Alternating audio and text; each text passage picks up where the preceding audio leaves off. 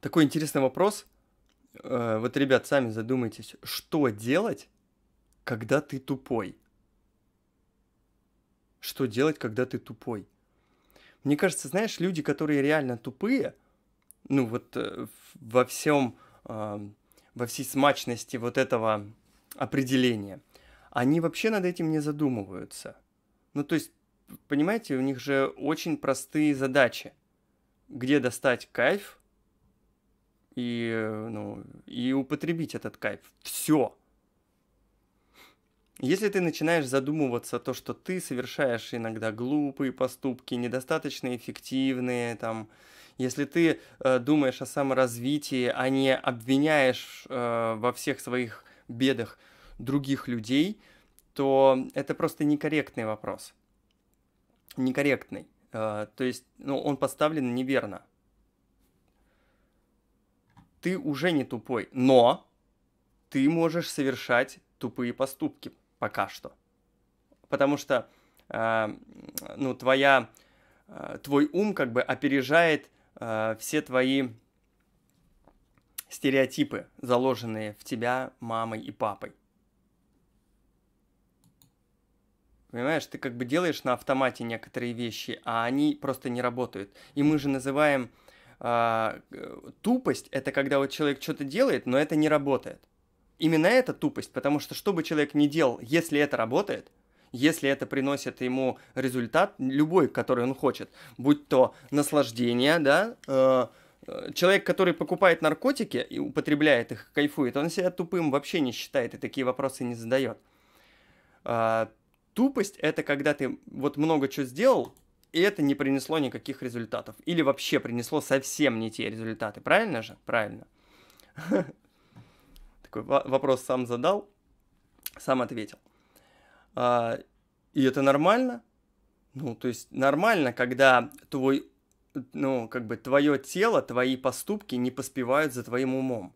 Тут главное себя вот так вот не задалбливать. А что делать, если я тупой? Да ничего не делать, ты не тупой, успокойся, убирай тупые поступки не так даже, можно их даже перестать так называть. Вот смотрите, у меня пока что еще проскакивает вот это, да, когда я там, вот этот там э, тупой, вот этот там еблан, да, или что-нибудь в этом роде. Ну, вы же понимаете, что я больше э, смеюсь над этим, а не действительно так считаю, потому что э, в абсолюте, еще раз, тупых поступков не бывает, и глупых поступков не бывает. Есть эффективные и неэффективные. Все.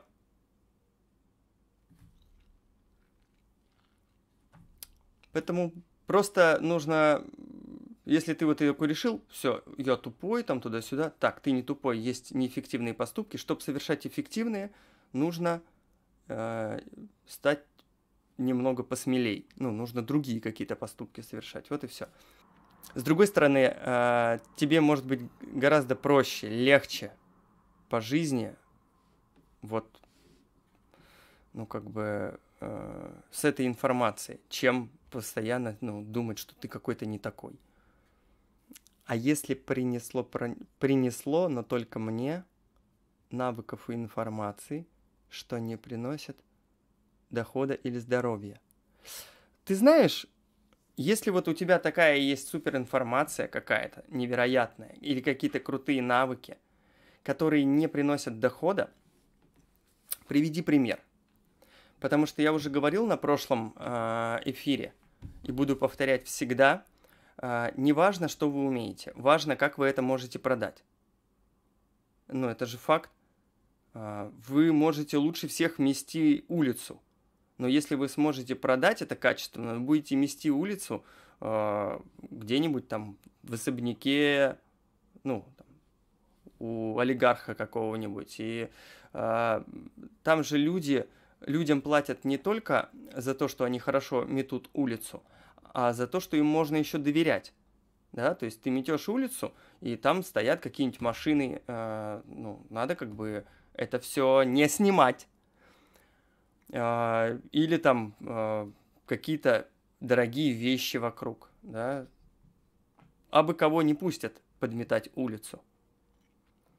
Вот, поэтому там нужно еще смежными навыками обладать к любой профессии. Поэтому давай, я готов поговорить с тобой на вот эту тему, Дмитрий. У тебя классное имя. Мне нравится. Что конкретно, э, что ты имеешь в виду э, по навыкам и информации, и тебе это не приносит дохода или здоровья? Вот мистер Голден ответил, все будет хорошо, не беспокойся. Ты гарантируешь это? Ну, то есть, мне кажется, от бабушки это можно вот так вот услышать. Это, ну, типа, э, вот смотрите, вы любите говорить социально приемлемыми фразами. Это безопасно. Это безопасно, и такие, ну вот я вот молодец, поддержал. А в абсолюте, не, ну, ну вообще, что значит все будет хорошо? Почему все будет хорошо? Все будет так, как вы сделаете. Все будет так, насколько вы позаботитесь сами о, сво- о себе. Вот так вот будет. Начались тяжелые времена. Ой, как будто когда-то были легкие времена. Вы, вспомните вообще всю жизнь. Хоть когда-то было двухтысячные, или там 2005, или 2007. Такой живешь, думаешь, какие простые времена, а? Прям сиди, ничего не делай. Всегда будет трудно. Ну, то есть, э, у тебя может быть либо всегда классно, либо у тебя может быть всегда трудно. Вот выбирай. Ну, всегда... Есть, конечно, есть сложности, трудности. Есть. Как правило, э, у каждого человека это что-то конкретное. Деньги там у кого, у кого здоровье, ну так надо решать. У кого-то безопасность, надо решать. В принципе, понятно, почему любимое творчество, которым уже занимаюсь профессионально, не приносит пока дохода. Смотрю на профи и кажется, что мне пока рано высовываться, недостаточно крут мой уровень. А если бы Ольга Бузова в свое время думала так о вокале, то вообще ничего бы у нее не получилось. Знаешь, э, людям, которые э, реально профессионалы, им порой очень трудно. Ну, потому что они могут, ну, они, они шарят, что такое хорошо, что такое плохо. Я считаю, на рынок, ну, то есть в мир, в люди, нужно выходить с, в первую очередь с желанием что-то делать. Вот, э, опять же, Дим, Дмитрий, будет гораздо проще, если ты напишешь, что ты конкретно делаешь. Любимое творчество. Что, что это? Потому что э, какое творчество? Делаешь, допустим, ты сайты. Ведь э, есть, э, можно делать сайт за миллион рублей, да, там, за 10 миллионов можно делать сайты. Это очень круто. А можно делать сайты там и за 10 тысяч там. Взять на тильде, раз-раз по шаблончикам раскидать. Там, или за 3 тысячи можно делать сайты. Ну, можно делать их по 10 штук в день. Ну, я могу взять и заняться, делать людям сайты. Такой, как у меня сайт, я могу э, сделать там за полдня. Пожалуйста. Сколько это будет стоить? Ну, я думаю, что, я не знаю, тысяч двадцать, наверное, самое большое. Ну, чтобы все вот эти там э, меню там и все такое. Кстати, если вы хотите э, посмотреть, что там у меня за сайт, это вот там вот внизу. Там есть бесплатные курсы, кто не знает.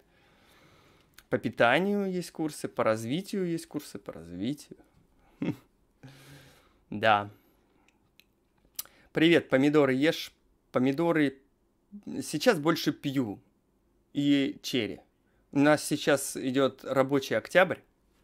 А в рабочем октябре, то есть мы тут все меняемся, очень круто. Ну, кто смотрит мой инстаграм, тот знает. А, победитель э, у нас получит 50% скидку на Fruit Camp. Fruit Camp. Fruit Camp в следующем году будет стоить от 24 тысяч рублей. Вот. Такие дела.